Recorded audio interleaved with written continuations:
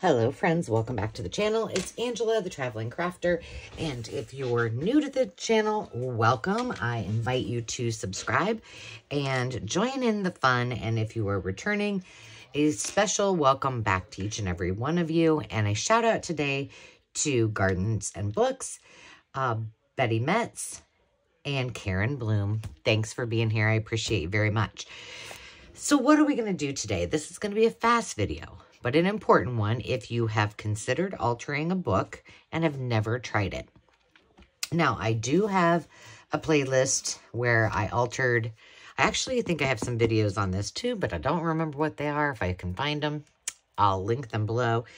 But I do have uh, altering a magazine into a memory book.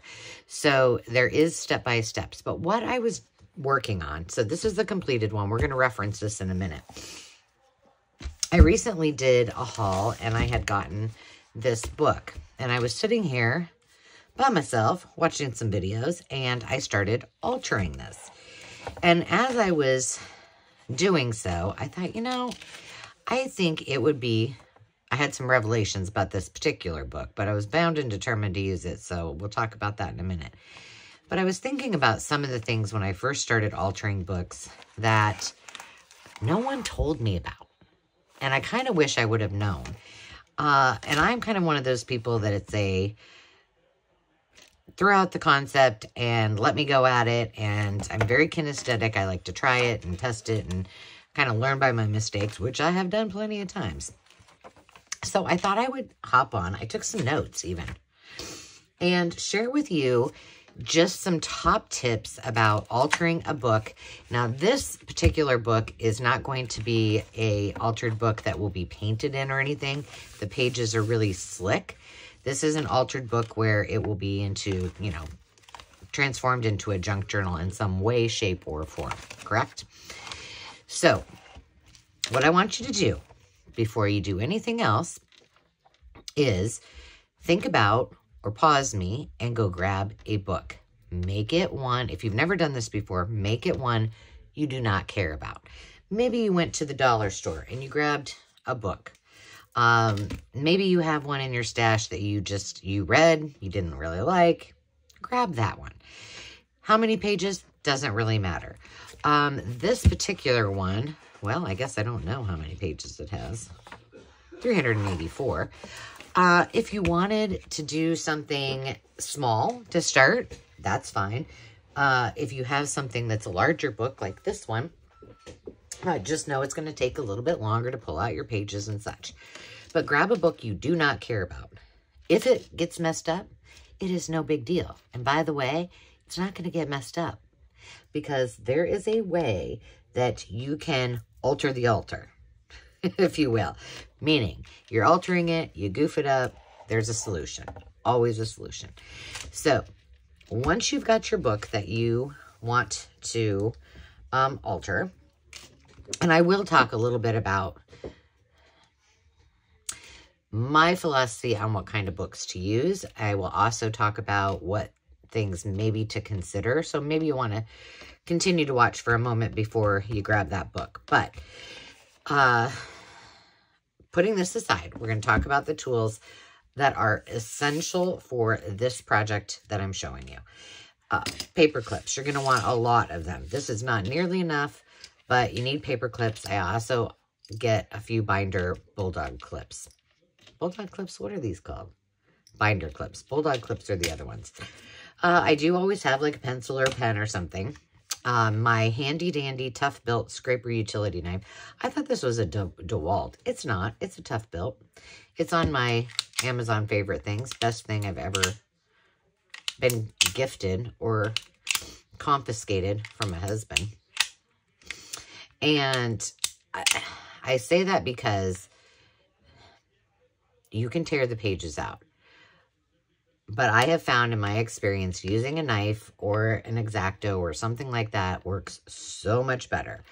Um, but you do you, and you decide what works best for you. I also would suggest having, oh, you could use a putty knife, you could use a bone folder, you could use a key card, or in this, yeah, this is a key card from somewhere, some hotel. Uh, and that's really, you can also use um, a ruler too. It works equally as well. So once you have kind of, and glue. Now, uh, I have seen other people use Mod Podge or Gesso um, because they're changing the texture of their pages. You can do that as well if that's what you prefer. Gesso and uh, Mod Podge to me are just too messy.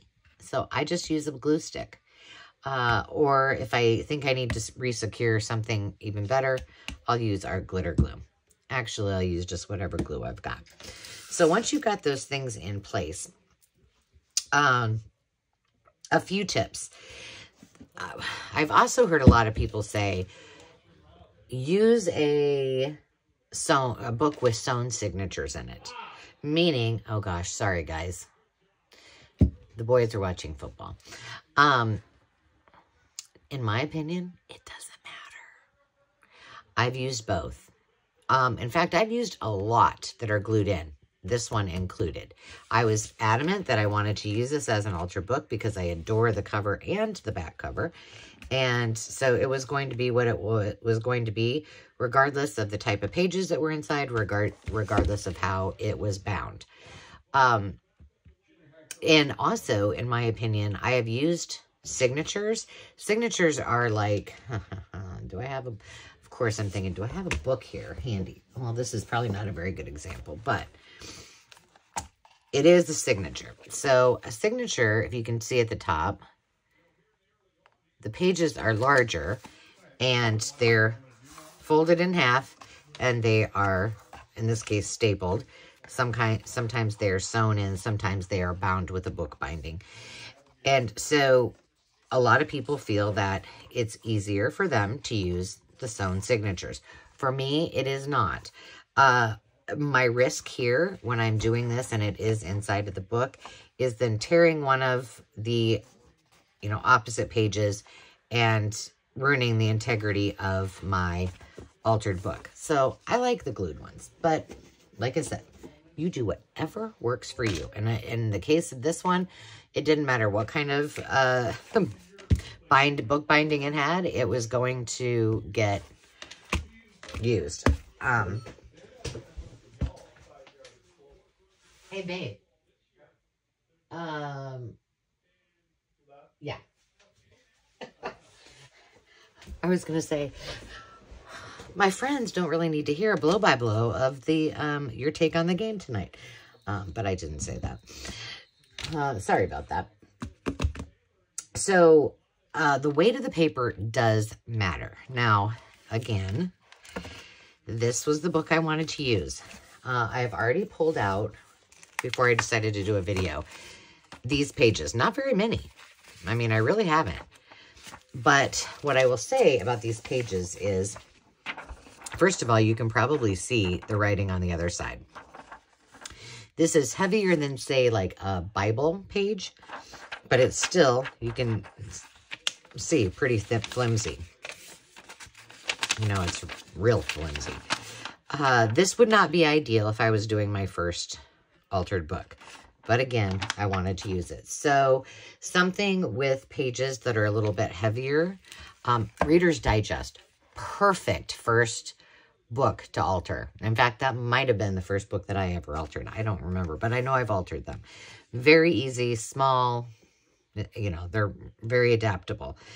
Um, so consider that. So that's a couple of tips about your book and the weight of the paper. Um, and then I will also tell you uh, my next tip, and I say it all the time, but the rules are there are no rules. You know this is going to drive me crazy till I get this off here. Uh, and I truly believe that in any type of art that you do, in art, there really is no rules. That, I mean, rules are meant to be broken in creativity. And just because one person says this is the way to do it, doesn't mean that's the gospel of junk journaling. Uh, you may have a great idea that nobody else has ever thought of. And if it works for you, then do it. And I would love to hear what those are too, because I'm always willing to learn more. So take a deep breath, grab that book you don't really care about, and just do it. Now, You got all that. I've given you your pep talk. Uh, remember, as you get started, you can always alter the altar, right? And then experiment with things.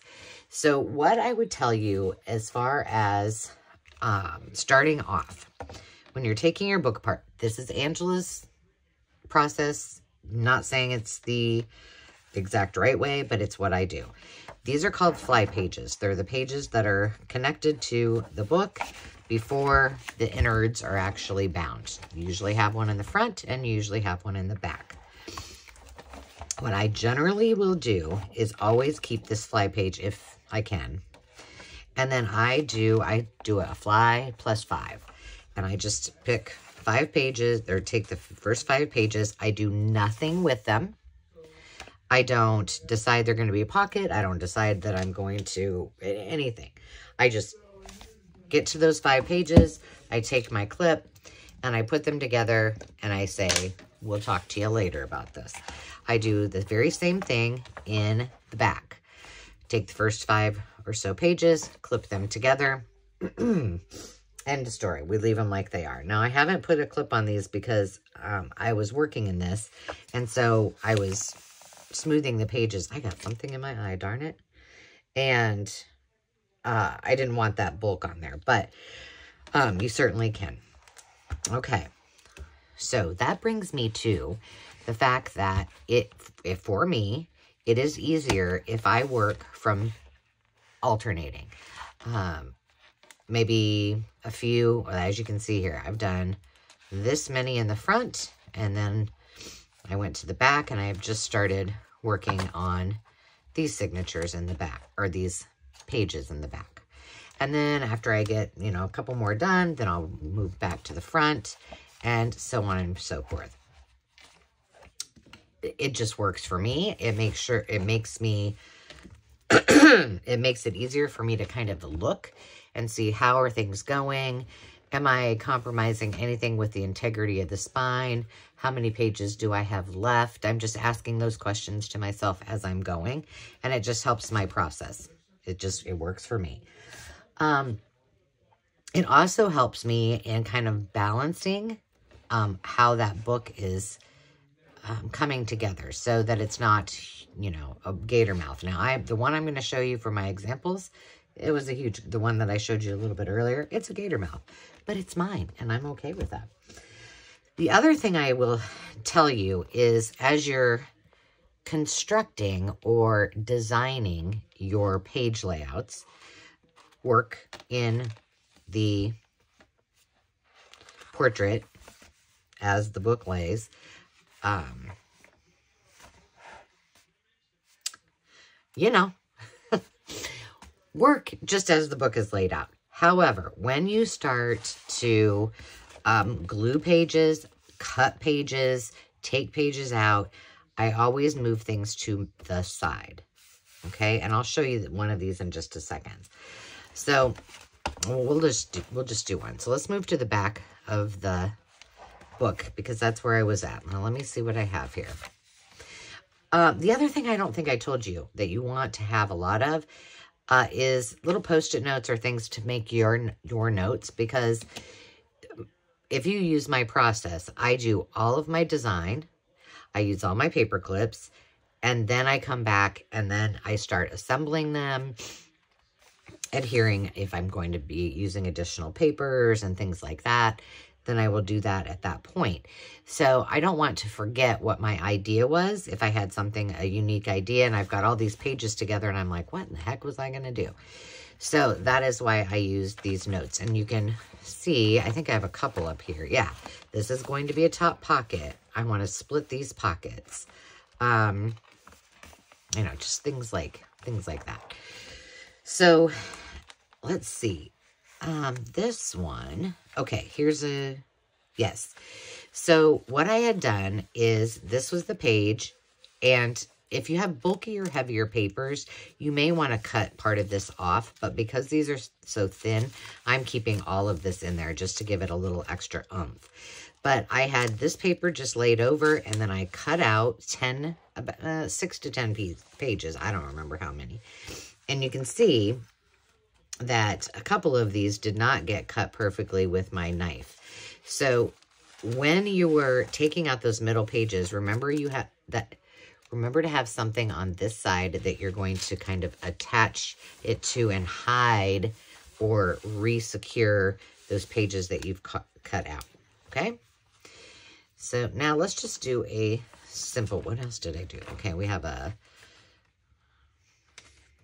tuxedo shirt pocket. We have these double ones. I just want to see what I've done back here. And a double one here. Huh. Okay. Well, I want to keep a couple pages just plain. Like I want to keep them and probably two pages and use them as they are. So again, I'm going to clip these together. I'm going to take my post-it and I'm going to put a note here that says, keep as single pages. Okay, those are good. All right, let's see. So we're going to keep those the same. And let's just say, I feel like I'm going to need, we're just going to do a single, have I done that yet? No, we'll do this. Boy, my memory doesn't go very far. Okay, we've we done that? Let's see what we did in the front. We can replicate something we've done back here. I wanted to show you something easy.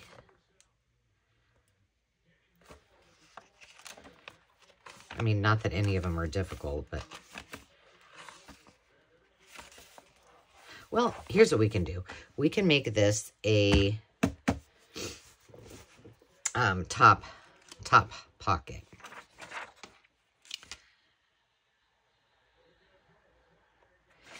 because these are thin, I think I'm going to glue these together. So I'm going to go ahead, and this is going to be another tip here in a second. Now, it's going to be a little bit harder because this is, I should probably undo this. Let me just undo this so it lays a little flatter, which is going to be, and it, it's going to be important when I, so all I'm going to do is glue these two together. Why? Because my paper is thin. If you have better paper in your book, you will not have to worry about that at all. But I do. Because apparently I'm stubborn and I want to use this book. All right, so I'm just going to get it nice and glued down. Again, you use your... Now watch what I'm doing. Okay, this is a piece I'm gluing to this. You'll see that it will kind of curl. So take your take your book on its side and hold that down. I go with my bone folder because I can really get a lot of movement and then I close my book like that. Now, these are now together and when I put this together with these next two pages that I will glue, I'll have a nice sturdy I'm thinking I'm going to do a side pocket. Is what I'll do on this. And I'll rate that in just a minute. Now, I could go ahead and make a, a thumb notch, but because I'm probably going to cover some of these with paper, I don't want to do the thumb notch yet. So I'm just going to say, there we go. I'm going to show you with the, these are just really simple. So here are my two glued pages. I'm going to lift this up. I'm going to pull it without ripping it. You don't need to get heavy-handed with it. Pull this as far out. That, that way you know that it's just going to lay as flat as possible and close it. It's why it works for me to work on the side. Okay, done. Now I have these two ready to go. I'm going to clip them together I'm going to put this on the side and then right side pocket. Now at this point, we are ready to pull out some pages. So back to what I was ready to share with you. Um, we're going to sandwich all of the pieces. So I'm going to keep this single page right here. Oh, dog nuts. I'm going to, well, we're just going to cut this one out. So I'm going to count. We're going to keep just this one here by itself. One, two, three, four, five. Let's just take six out for the sake of this video.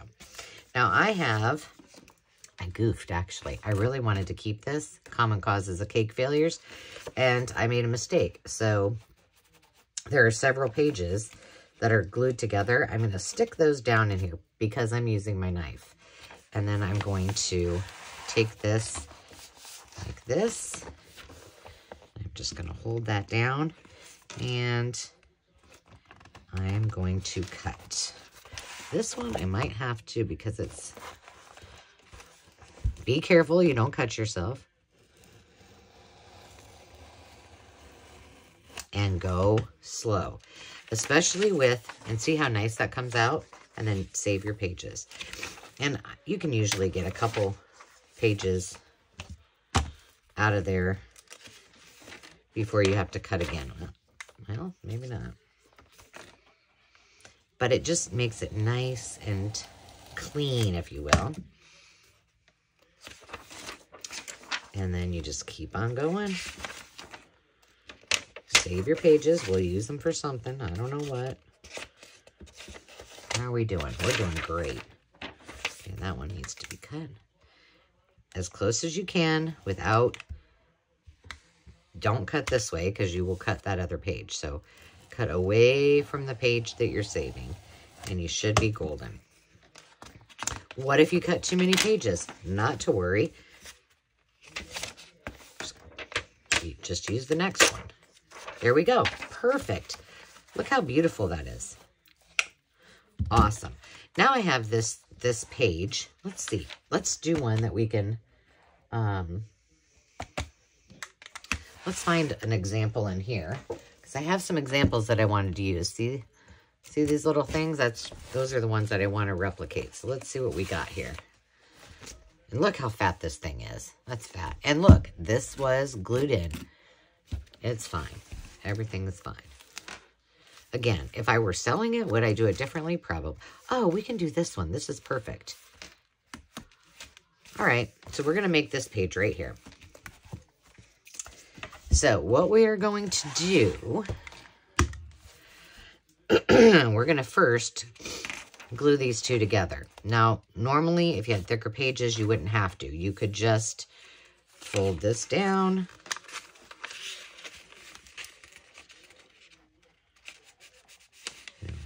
Well, could we? I think because maybe be, if we have yeah, I think if we're doubling that one up and we're doubling the other one, we should be okay. So all you're going to do is fold it in like I just did. Perfect, right? Now, all you're going to do is pull this page, basically, over the top,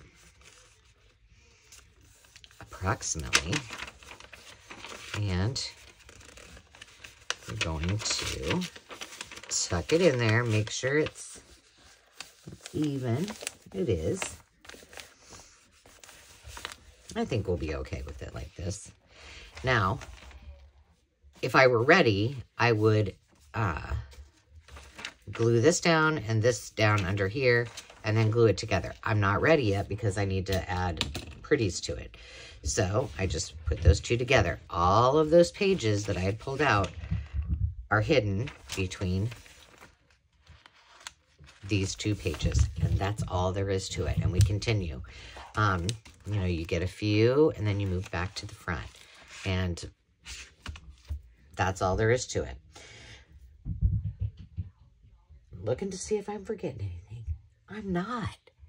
So the last thing, the most important thing is to have fun. Now, if you want to see, I have some more complex pages that I have um, marked in the other journal that I have finished that I'm going to do in here. And if you are interested in seeing that, um, let me know because I can add them in here and we can do another quick video. Um, but I hope that that helps. Again, I'll go over. Um, real quickly, just, you know your supplies. You can rewind if you need to. But uh, take a deep breath. Use an old book give it a try. Consider your fly plus five. Work from the front and then the back, alternating. Work on the side when you're cutting and you're gluing and pull towards you. Use your bone folder or some other apparatus to do that and always close your book down when you're doing each page. Between every single um, design that you do, um, do that. Glue or sandwich your, your cut out pages or your pulled pages in between two structurally sound pieces. We just did that right before. And then last but not least, have a little fun. So I hope this was helpful, and I hope that you will give it a try. If you want to see step-by-step -step what I did in the uh, Altered Magazine Memory Journal, then hop on over to that playlist and check it out. Um, until next time, friends, remember to take time to just be. And if you haven't yet subscribed, I invite you to join along and um, get ready for some fun. We'll see you next time. Cheers.